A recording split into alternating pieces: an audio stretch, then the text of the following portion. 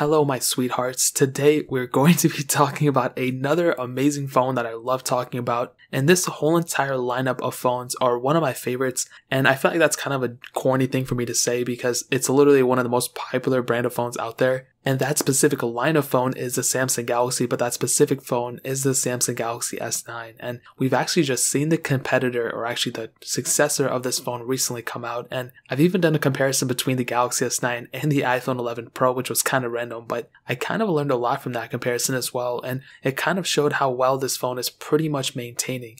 Now I'll tell you, this phone isn't an old phone at all, but in some cases, it's kind of a weird phone in it that coming from the Galaxy S8, it didn't really change too much in terms of the body, at least in the front, but that's not a bad thing. But we've seen some phones kind of change up a little bit, and the successor of this phone, the Galaxy S10, was a pretty humongous upgrade coming from this phone. So I kind of want to talk about that and so many other parts of this phone. Now, starting off with the outside, actually this thing came out last year in February, so it's a little bit over a year now. I mean, it's more closer to two years old at this point. And in terms of the way it looks, I mean, you can tell this phone does not look like an old phone at all. It still looks like a super stable, awesome phone, in which it is because it's not a bad phone at all. You know, it's only like a year or something year, years old, and that's not an old phone at all. Don't get me wrong. Now, looking at the front, you do have a 5.8 inch Super AMOLED display. It is 1440p by 2960 and with 570 pixels per inch. Now that is one of my favorite things about this phone. You know, the display on the front is so good. It looks so good. It's unbelievable. And the other day when I was doing my iPhone 11 Pro versus my Samsung Galaxy S9 comparison, dude, I saw, dude, this phone did not look that bad at all. And this phone actually looked better than the iPhone 11 Pro, which in my opinion, I wasn't expecting. I know the iPhone 11 Pro had True Tone. I know it had that brighter display. I know it had a couple things up its sleeve, but the Galaxy S9 was better in my opinion. Now that could be, you know, based per opinion. You might look at the 11 Pro screen and think it's better, but from what I saw, I'm pretty sure my Galaxy S9 had a better display than the iPhone 11 Pro, which honestly surprised me. I was not expecting that. Another funny thing, I'm not trying to turn this into a comparison, but the iPhone 11 Pro lacks 3D touch, lacks force touch. It has haptic feedback, that little long pressing touch thing. The Galaxy S9, however, does have a home button 3D touch feature, but it's only apparent on the home button. You can't go around clicking it everywhere but I find that to be super funny. It's still not even as good as like an iPhone 7's, but it's still surprising. I wasn't expecting it to be, you know, like flip flopping. Usually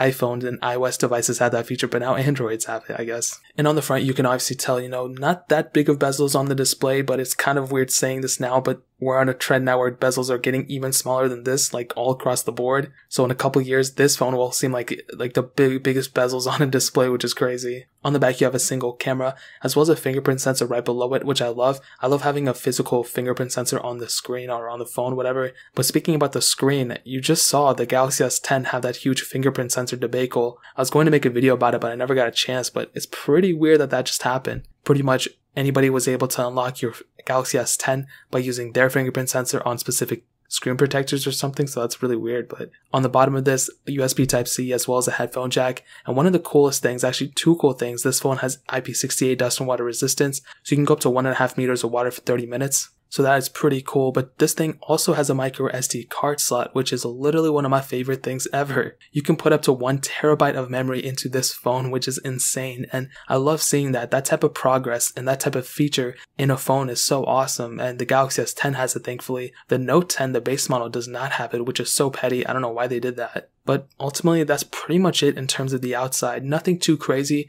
but I still think it's a very premium feeling phone. I still think this phone, I think in a way it feels more, even more premium than my like iPhone 11 or 11 Pro. So this phone definitely by far is still holding up in terms of the way it looks and the way it feels. But moving on to the software side of things, this is where things get a little bit interesting. So it was released with Android Oreo. You are able to put Android Pie on it through the One UI, which is Samsung's new UI interface, which is really, really cool. I like it. But now there's One UI 2, and this one is getting One UI 2. I'm pretty sure. I don't know if Samsung has declared it yet, but I can almost guarantee that this phone is going to be getting the Samsung One UI 2, which is their new software based on Android 10. And I have it on my Galaxy S10 right now, and it's a pretty good interface. I like it there's some cool improvements here and there. I don't think it's like a UI refresh like it was with One UI, but I definitely do think it's an improvement. And I think it's a step in the right direction. What I will say though is that I don't think it's going to go any further than Android 10. I did say previously that, you know, Samsung is on a trend to improve their software a little bit better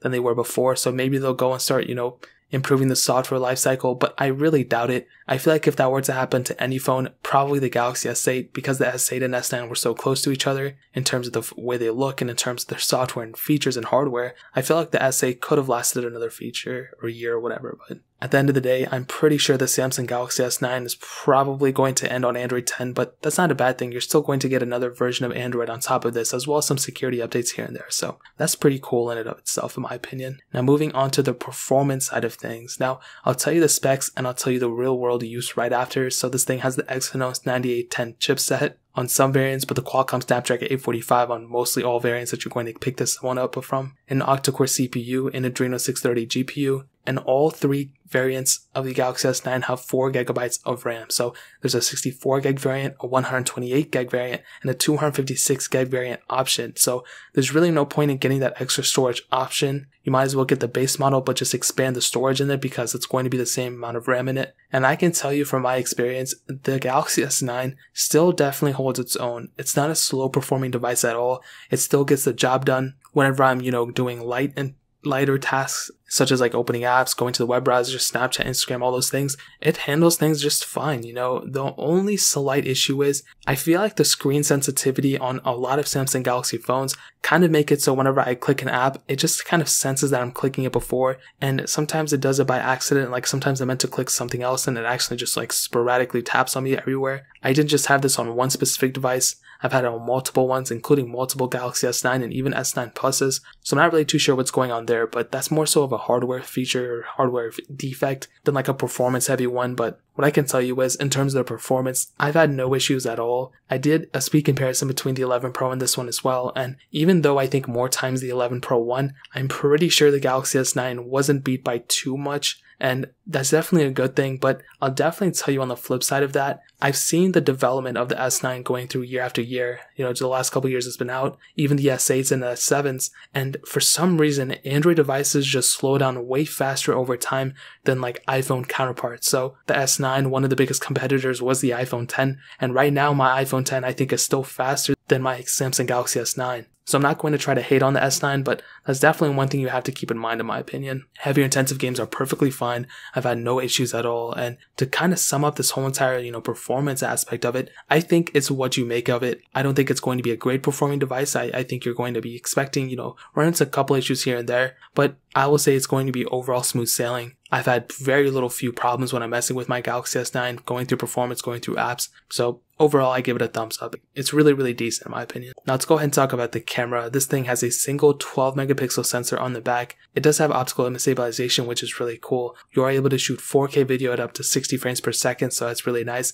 The Google Pixel 4, which I just unboxed yesterday, that one doesn't even have 4K 60 frames, so that's pretty weird. But the S9 has that, which is super awesome. And I'll tell you, it's a great camera. It's an awesome camera. You don't have an ultra wide angle lens. You don't have a telephoto lens, but you have enough to get you going, in my opinion. And I think that's definitely better than nothing. It's definitely a very decent camera, in my opinion. The front camera is 8 megapixels you are able to do 1440p videos on it. And just like I've stated, dude, like I'm not a huge photographer. I don't know how many times I can say it, but it's a good camera to get you going. Like I said, is it amazing? Probably not. But in terms of photo quality, I have really rarely run into any issues. I found it to be very, very decent. And whenever you're going to do anything with it, I think it's going to be perfectly fine. If you're going to take photos of your family or whatever, you're going to be good. You have a lot of functionality in, built into the camera app. So you can do a lot of different features within there. You just don't have like portrait mode or anything, but it's not that big of a deal in my opinion. So ultimately, I give the camera a two thumbs up in my opinion, still even in 2019. Now hitting on the battery life, this thing had a 3000 mAh battery